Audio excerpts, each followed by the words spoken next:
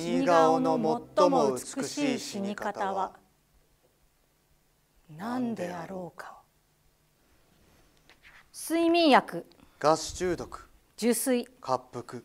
と自殺にはさまざまな死に方があるが生前のありようを保てるのは死後わずかの間で12時間もするとどれも体は黒ずみ。死後硬直が現れやがては周期さえ漂ってくる死ねばそれまでとはいえ死後幾時か経って見出された時顔を背けたくなるほど醜くなっているのはつらい。これらの中でガス自殺だけは死の直後一酸化炭素が血中に広がり両の頬がバラ色に紅潮するというがそれも一時のことらしい。愛する人が駆けつけてきてバラ色に輝く時に見出してくれればいいがそうでなければ黒ずんだ醜さを晒すだけとなる。生きていた時より美しく華麗に死ぬ方法はただ一つ。あの死に方しかない。あの澄んで冷え冷えとした死。純子はそのことを知っていたのであろうか。あの若さで。果たして死ぬ時そこまで計算していたであろうかこの春私は久しぶりに札幌へ戻ったのを機に20年ぶりに時藤純子の家に会い彼女の残していった絵と再会した。写真はコートを着てベレーをかぶり日がまぶしいのかかすかに顔をしかめていた。当然のことながらその顔は20年前と少しも変わっていなかった。毎日見ていますが純子は少しも変わりません。私が感じたことを純子の母はそのように表現した。私はうなずき腰を浮かせて線香をあげた。純はこの写真が一番気に入っていたのです。確かに時々こんな表情をしましたよ。少し顔をしかめていて私は好きじゃないんですが死んだらこれを飾ればいいなんて言っていたものですから。彼女がですか？本気か冗談かそんなことを言うのが好きな子でした。20年前の疑問が私の脳裏によみがえったのはその時であった。純子はそのことを承知で計算づくで死んだのではないか。それは眼前の純子の写真とは何のつながりもなくふと起きた疑問であった。だが一度起きるとそれはたちまち確かなものとなり私の心にどっかと腰を据えていた。それにしてもこの思いもしない確かさは何であろうか。私は自分の心の先走りに戸惑いながらやがて私の心の中に20年間同じ疑いが生き続けていたことを知った。間違いなくあれは冷たく孤独な死であった。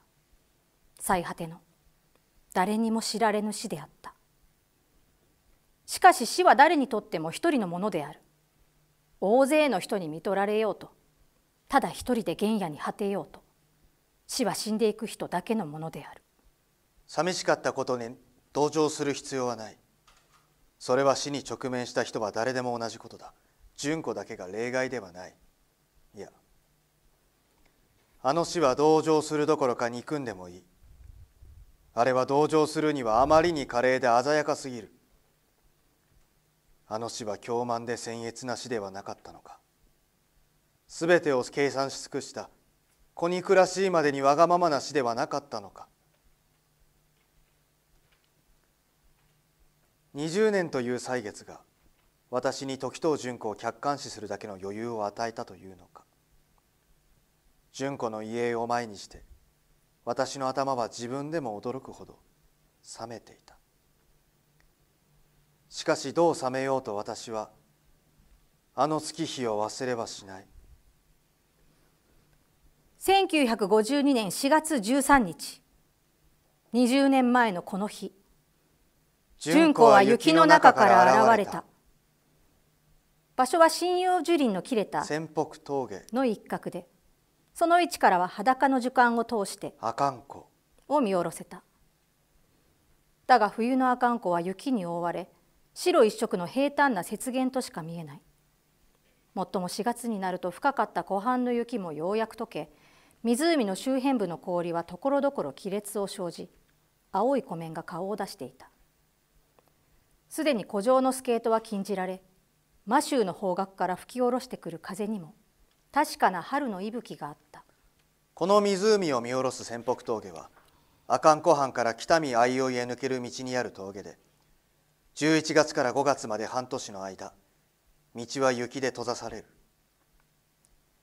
この間峠へ向かうのは営林署の巡視人かアイヌのソマだけでそれも馬ぞりで雪の少ない日に限られていた。純子の死体もたまたま雪解けの陽気を見定めて峠へ向かった湖畔の営林署員に発見されたのである。見出された時純子の死体は湖の方へ頭を向け斜め半身にうつ伏せ気味に倒れていた。周りは深い熊笹があり少し離れてエゾダテ白樺とブナのソリンがあった。はじめ営林書院の目に入ったのは赤いオーバーの背の膨らみとその横から小さく出た左手の甲であった。両手で胸をかき抱き左肩が落ち込んだ姿勢のため左手が右の肩口の上に出たのである。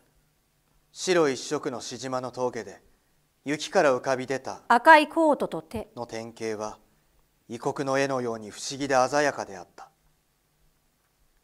営林書院ははじめそれをコートとは思わなかった。ただ赤い色。があると思っただけである。すべてが枯れ果て雪に覆われた峠にそれはありうべき色ではなかった彼は自分が何かを錯覚して見間違えているのではないかと思った。道から雪のそりんに踏み込み雪の間から顔を出した熊笹の前まで来て彼は初めて赤いのが布で横に出ているのが人の手だと知った。手はかすかにむくみ赤茶けていた。それを見つめたまま彼がしばらくその場から動かなかったのは興味というより恐怖からだった。傘？と春陽の中で雪の溶ける音以外辺りには音は何もなかった。裸木は雪の中で立ち尽くし眼下には白い盆を伏せた形の阿寒湖が広がっていた。営林書院が静まり返った峠から駆け寄り湖畔の駐在へ告げソリにスコップとむしろを乗せて再び峠へ戻ってきたのはそれから2時間後だった。見出した時中空にあった火はおあかん岳の稜線に移動し蝦夷立白樺の樹影が雪の表を横切っていた。営林書院と駐在は駆けつけてきた二人の村人の見守る中で少しずつ周りから雪を避け始めた。書院にはもはや静寂の怖さはなかったが何が現れるか見果てぬ不気味さはあった。スコップを深く入れない方がいい。表に出ている背の膨らみから死体のおおよその様子は分かったが手足の先までは分かりかねた。二人は遠巻きに周りから雪をよけ徐々に輪を縮め最後は手で雪を払いよけてその全身を掘り出した。純子は心持ち左半身に湖の方へ頭を向けてうつ伏せ気味に倒れていた足はくの字に軽く曲げズボンの下に白いブーツを履いていた。手は左手が胸元を巻いて右の肩口に達し右手は耳元へ当てどういうわけか右腕につけていた腕時計を耳に当てて聞いているように見えた。オーバーは日の当たっていた部分だけいくらか色が冷めていたが他は原色のままでフードがすっぽりと頭を覆っていた。体を戻しましょうか。いや釧路から鑑識が来るまでこのままにしておこう。駐在の言葉に営林署員は周囲へ目を向けた。死体を囲んで頭から時計回りに片方の手袋タバコの箱オアカンホテルのマッチハンカチーフそして左の肩口に空の睡眠薬の瓶が転がっていた。やっぱり自殺だな。まだ若そうですね。1月の末に札幌から3人ほどを探しに来てわからないで帰ったけどその時の家出人じゃないかな。するとその時から今までここに？もう2ヶ月になる。駐在は死体の周りに散らばっていた品物を調べ手帳に書きつけた。書き終わった時峠の下から若い男が一人登ってきた男は消防団の黒いオーバーを着て制帽をかぶっていた。釧路からは何て言ってきた？それが今日は鑑識の人が外に出払っていないんだって。戻ってきてから湖畔に登ったのでは現場に着いたら夜になるので鑑識は明日やるから今日は死体だけ確認してそのまま戻ってくるように。とのことです。そうか。駐在がうなずくと栄林書院が言ったそれなら顔くらい見ておいた方がいいでしょう。自殺に違いないんだから仰向けにぐらいしたって構いませんよ。待て。その前に写真だけ撮っておく。駐在は古いカメラを取り出し頭側と左右から1枚ずつ合計3枚の写真を撮った。それから栄林書院が死体の横にかがみ込むと死体の肩口にかすかに残っている雪を払い押しつぶされた熊笹の間に手を差し込んだ。硬くなっとる。凍っちゃったんだろ。うそれもあるけど人間は死んだら硬くなるんだ。栄林書院が肩口を駐在が足元を抱いて死体は仰向けに戻された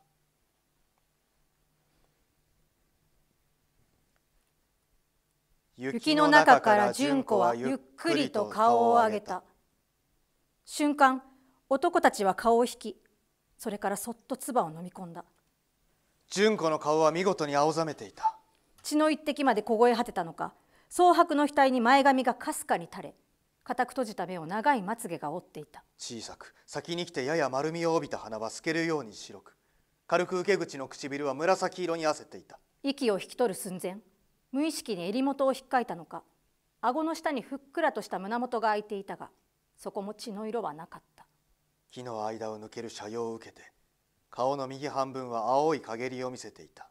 それは美しいというより幼くたおやかであった。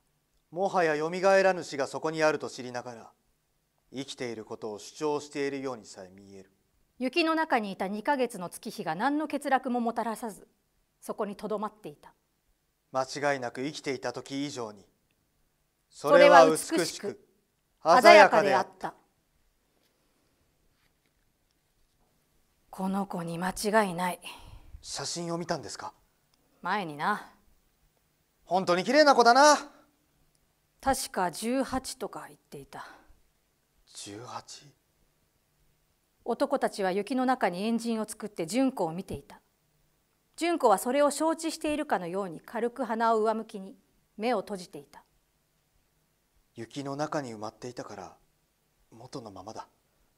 純子の顔と体の線に沿って雪に人型ができその雪面はいくらか固く締まっていた。もう少し見つかるのが遅かったら雪が溶けて腐ったかもしれない。それは雪から出た左の手の赤茶けたむくみが示していた。短いとはいえ峠の日中の日の光はすでに春のものだった。伏せていたから顔は助かった。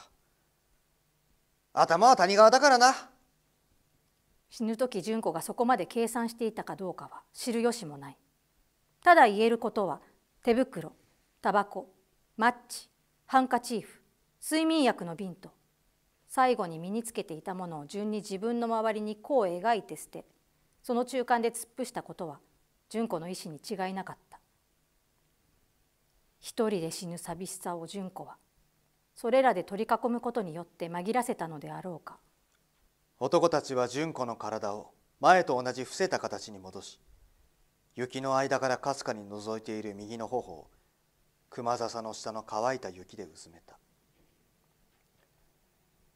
やっぱりむしろをかぶせておきましょうか。そうだな。栄林書院は死体に浅く雪をかぶせその上をさらにソリで積んできたむしろで覆った。むしろは純子のほぼ全身を覆ったが白いブーツの先。だけがわずかに出ていた。じゃあ明日また。駐在はむしろの下の純子と男たちの両方へ話しかけるように言った。4人は立ち上がりそれからもう一度振り返るように雪の中のむしろを見下ろした。日がおあかん岳の背に傾きそれを受けて目あかん岳の雪面が赤く生えていた。何か目印でも置いておこうか。大丈夫だろう。でも今晩中に雪が来てまた埋まるかもしれない。もう4月の半ばだからそんな大雪は来ないでしょう。この伊達看板の少し上だ。覚えておこう。4人は谷川に突き出た蝦夷立白看板の曲がりくねった枝を見た枝は木のまばらな谷の方へ広がりその下に半面が日の影になった雪の阿寒湖が見下ろせた。行こう。男たちは順に帽子を取って一礼すると道に出た。どうして死んだのか。歩きながら栄林書院が低くつぶやいた。原因は男かな。でもまだ学生だと言っていたけど絵を描く人らしい。じゃあそんなことで何かあったのかな？わからん。話しながら男たちは時々峠の方を振り向いた。明日の検視は何時になる？家族が今夜夜行で札幌を立つっていうから明日の朝釧路に着いてそれからジープで登ってきても明日の昼頃にはなるでしょう親が見たらきっとびっくりするだろう。峠の方角でカラスの一団が羽ばたいた。黒い群れが峠に続く山の一角を覆っていた。カラスのやつ死体をつっついたりしないでしょうね。むしろをかけてあるから大丈夫だ。男たちはうなずくと再びソリを引きながら雪の道を湖畔へ向かって下っていった。